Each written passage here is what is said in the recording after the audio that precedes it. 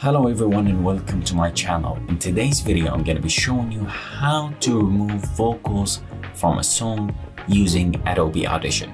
So without further ado, let's get started. Now we're in Adobe Audition and I have here a song that we're going to be doing this tutorial on.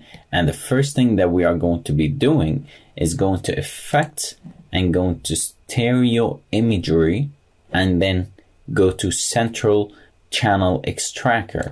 And the reason why we chose center channel extractor is in most of the songs, all the frequencies of the vocals sits right in the center of the audio. So they're not usually in the high or low frequencies. They're always in the mid. So let's start. So this panel, the center channel extractor panel, you'll see here at the presets right here, and you can see multiple options that you can use, which is there's karaoke, which will drop the vocals but not in a really high level. And the sing along, it's also for karaoke. Or you can lift the vocals up if they're not in your song. But what we are going to be using for this tutorial is the vocal removal preset because you can see here it dropped our center channel level to 40% to negative 40 dB percent. So let's just have a listen to it and see how it sounds like.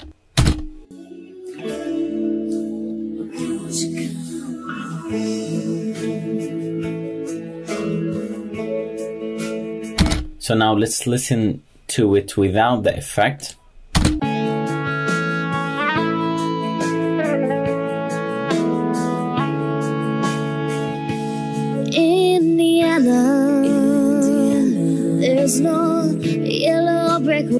Now with.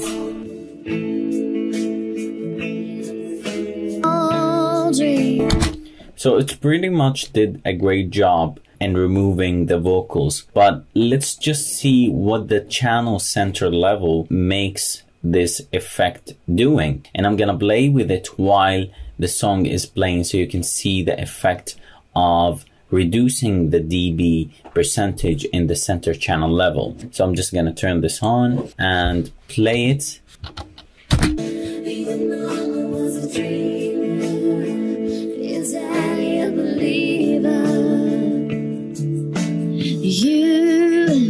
So by increasing the center channel level, we pick the vocals up, but we want it all the way down because we want to remove the vocals. And you can also play with the adjustments of the frequency range. For example, the start and the end. The start represent the bass cutoff and the end represent the treble cutoff. So if we increase the bass cutoff, we'll starting to hear the vocals more up. So let's just try to listen to it while uh, adjusting it.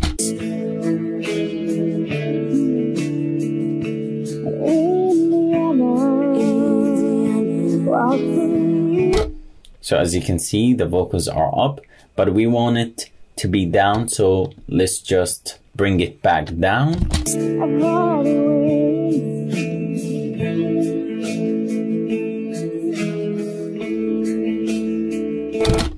So each song will have a different adjustment and you'll have to listen to it while adjusting it so you can get the best results that you want. And now let's just play with the uh, treble cutoff and let me just bring this back to here and increase the treble cutoff to hear how it sounds like.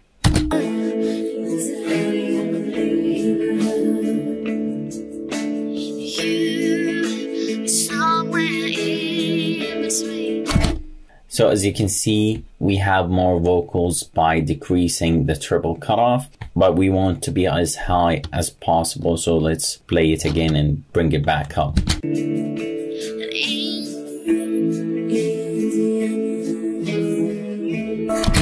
So this sounds much better. And this song is really hard to remove the vocals of because there's a lot of vocals that sits also in the high and the low frequencies. So it might not work with some songs. You'll have to keep playing with it until you get the results that you desire. I hope this video was helpful for you and I would really appreciate it if you can smash that like button for me and I'll see you in the next video.